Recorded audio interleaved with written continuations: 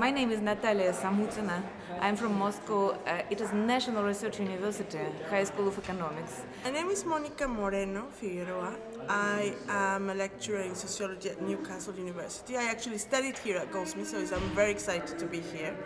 Today in the morning, I went to the walk organized by Alison Rooke and Alex in Woolwich. So that was really interesting. We went to the Arsenal. We saw, uh, you know, the the, the, city center and how multicultural it is, and how the regeneration is taking over the other side in within the Arsenal. So that was great. I couldn't continue the whole because I had to come back to my own panel, which starts in a minute. My name's Luke Dickens, and I'm a research associate at uh, the Open University.